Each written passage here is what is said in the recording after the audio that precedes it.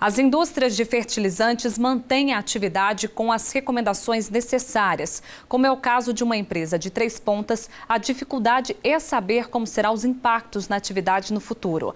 Veja o vídeo que foi enviado.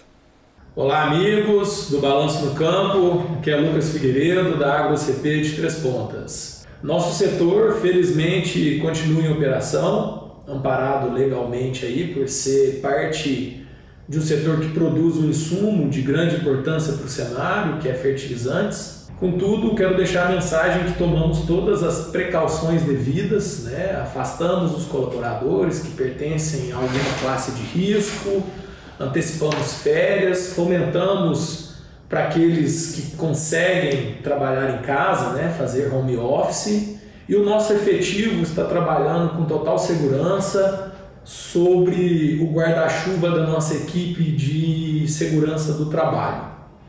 É, sobre previsibilidade, a gente tem um pouco de dificuldade em, em, em, determinar o que vem a acontecer, muito porque é uma situação inédita, é, que nunca ocorreu e a gente não tem certezas do, do futuro próximo.